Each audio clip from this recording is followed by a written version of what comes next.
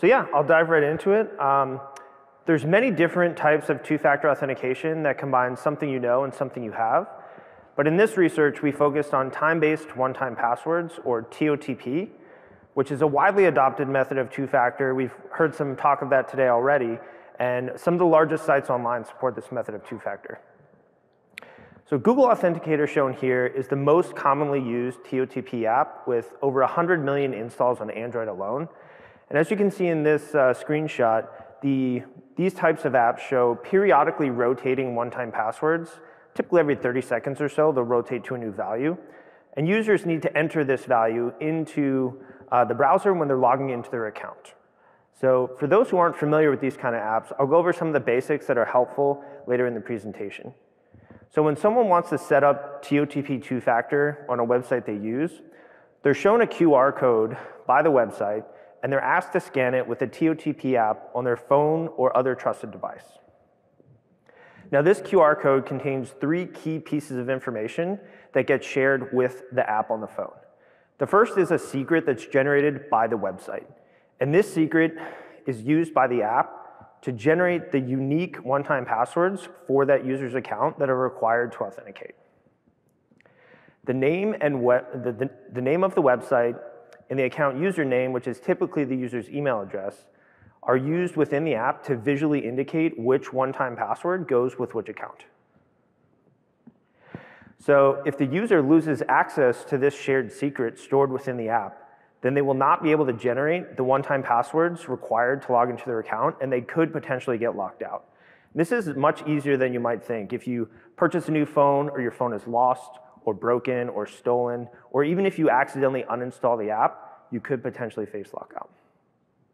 Fortunately, there's many apps that implement TOTP, and many of them offer backup mechanisms to help users avoid this outcome. But I had the question of what security and privacy implications might there be to users who leverage these backup mechanisms? Um, and this was really understudied, so we set to find out. There's three main research questions that we tackled in this work. The first is what personal information, if any, is leaked when utilizing these backup mechanisms? The second is what's the risk of an attacker obtaining one of these backups in the first place?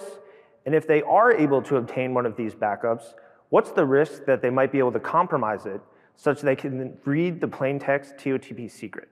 And again, anyone with this secret can generate valid one-time passwords for the user's account. So how do we go about this? Well, we identified all of the general purpose TOTP apps in the Google Play Store, and we filtered for apps that had at least 100,000 installs and offered a backup mechanism. There were 22 apps that fit this criteria, and you can see the specific versions of each app that we looked at in table one in the paper. For each of these 22 apps, we took the following actions. First, we recorded plain text traffic, specifically while adding, backing up, and recovering TOTP accounts. And while we were doing this, we used a custom QR code that had unique values so that we could then look for those values later in the network capture. For apps that utilized encryption as part of their backup mechanism, we performed a cryptanalysis to determine which crypto primitives were used and how they were configured. And because most of these apps use cryptography for many different features, we couldn't make the assumption that our observations were correct. We had to actually prove this, and so we implemented the decryption process for each app in a separate Golang script. And the input to these scripts would be things like the backup password we chose, or the encrypted backup that was sent over the network that we obtained from the network capture. And the output of these scripts would be the plain text TOTP backup.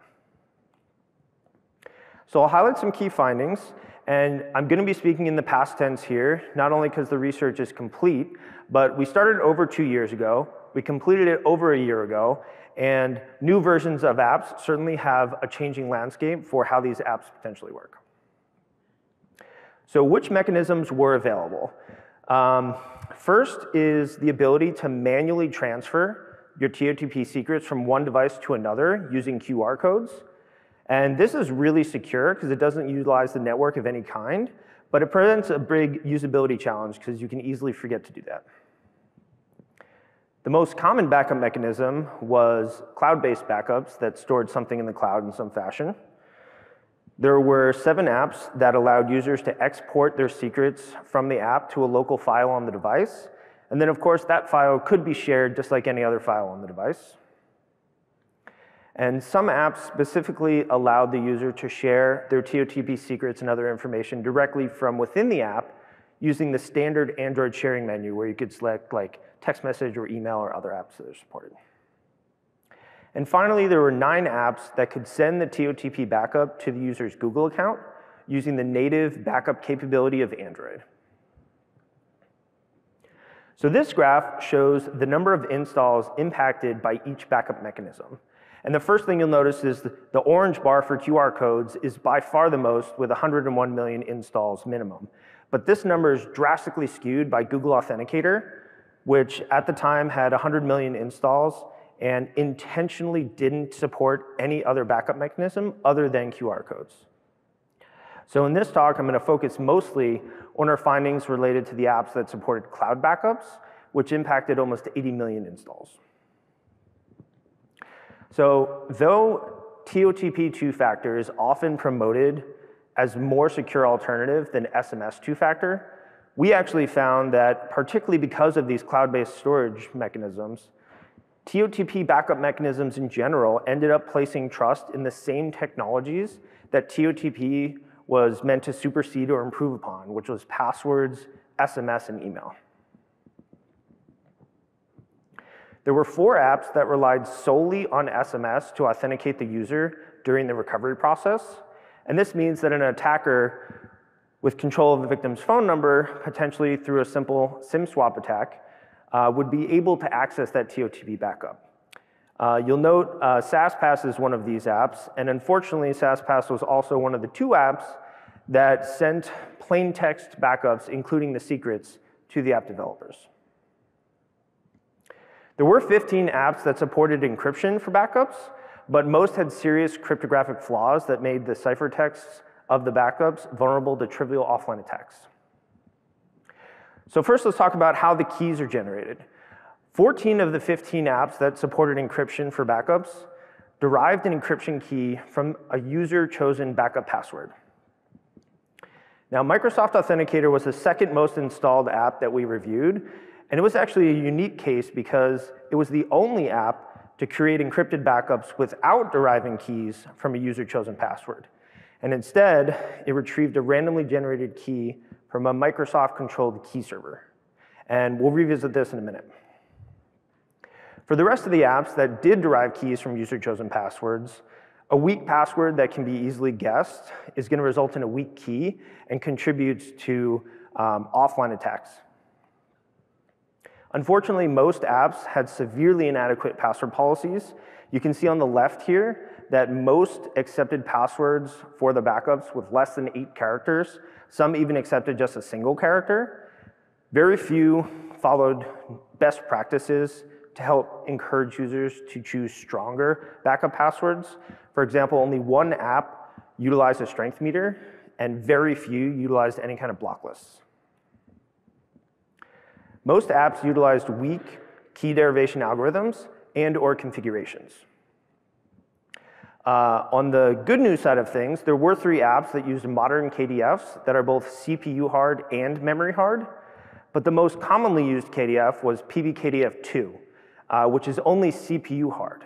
And that contributes to some of the issues with vulnerabilities to offline attacks, especially if it's configured with a weak number of iterations. And unfortunately, that's what we found in every single app that utilized PBKDF2.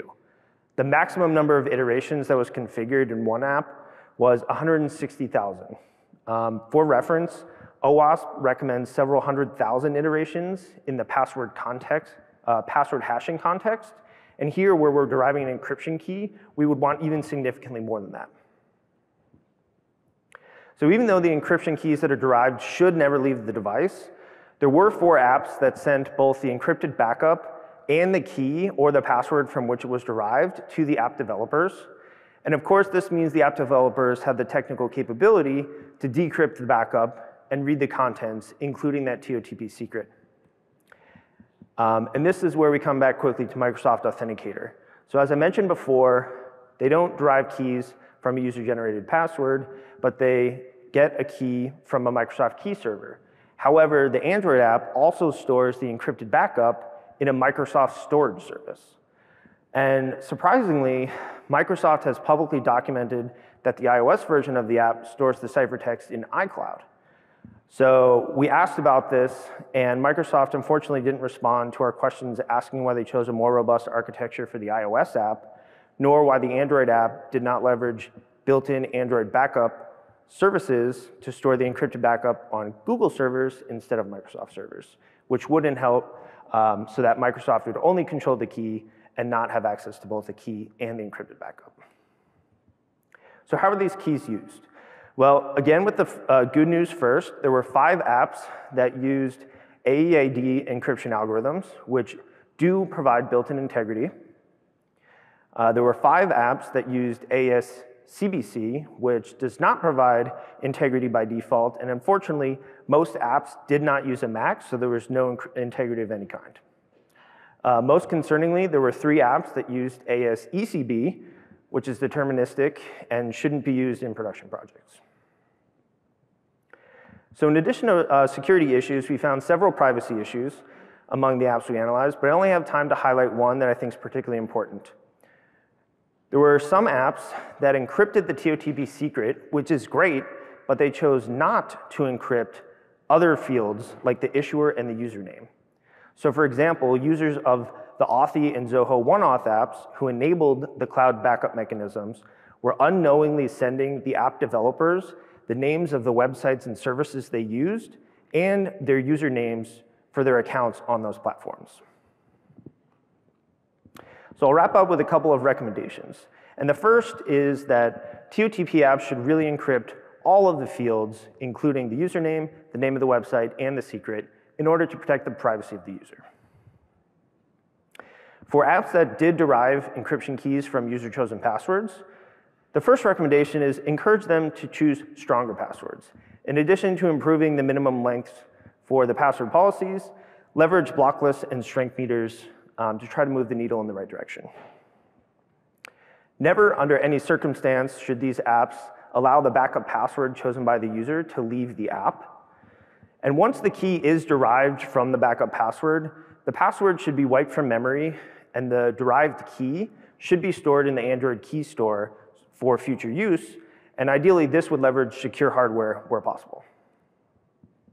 And finally, we definitely want to use a key derivation function that's both CPU hard and memory hard. And in the paper, we recommend using Argon2 since it could be dynamically configured to take as long as possible. And we actually proposed 30 seconds as a floor for how long the user would actually wait. And while this sounds like a long amount of time, there's actually some prior work that suggests people will tolerate a longer delay if they're given an explanation for how it protects their security. So we need future work to explore this in more detail, but um, it's an idea we present in the paper. So responsible disclosure is particularly important when developers and applications can actually improve and address issues that we found. So we contacted the developers of 14 of the 22 apps to report substantive issues and gave them at least 90 days to respond to our report before we submitted our paper to Usenix. Um, unfortunately, six ignored us, um, but we did hear from eight, and unfortunately, I don't have time to go into the details of those responses here, but I would love to talk to you um, about it afterwards. So the last thing I'll highlight is that everything we've done is open source, including the decryption scripts for each app, the steps that we took in each app while recording traffic. And so I'd encourage you to go to the GitHub repo that's available online, not only so you can verify our work, but we make the tools available to help you reproduce it on your own as well. Uh, so with that, I welcome any questions if we have time. Great.